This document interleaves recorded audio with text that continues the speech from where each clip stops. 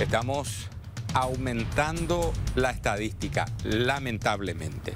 Hasta ahora, presunto feminicidio y posterior, como ha ocurrido ya en varios casos, intento de autoeliminación. Esto ocurría en una vivienda de la compañía San Jajú de la ciudad de Atigrá. Bueno, ya vamos a pedir a la señora Pilar Almirón, oficial inspector que está vinculada a la comisaría número 23 de esa zona para que nos pueda dar, señora, los primeros detalles. ¿Qué es lo que tienen registro hasta el momento de lo que ocurrió en ese lugar, señora? Buenas tardes. Muy buenas tardes para usted y para todos. Sí, así mismo es. Eh, tuvimos conocimiento de este hecho las 15.30 aproximadamente a través de la llamada recepcionada por el sistema 911. Personales de la comisaría se constituyeron acá hasta el lugar donde pudieron visualizar los cuerpos que estaban en el, suelo.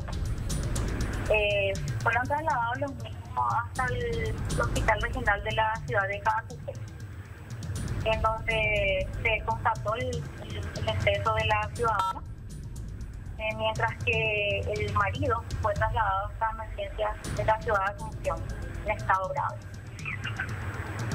Bueno, entonces, a ver, pero llegaron, perdón, señora Pilar, llegaron, digamos, a ayudar a la víctima, lamentablemente, hasta el hospital. ¿En el hospital se comprueba su fallecimiento? No, no, no. En realidad, en realidad eh, en el lugar mismo falleció ah. la, ciudadana. Ah, correcto. Ya, ya falleció. Sí, así mismo.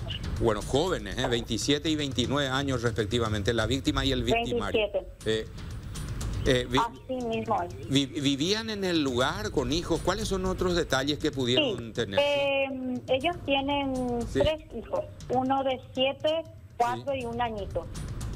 ellos vivían con la mamá materna en el lugar. Eh, es decir, con la mamá de la, de la fallecida, de Clarisa. De la fallecida, así mismo, sí.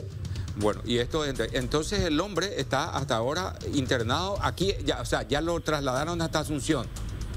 Así mismo, bajo toda policial. El mismo ya, ya se encuentra en el, en el, de la función.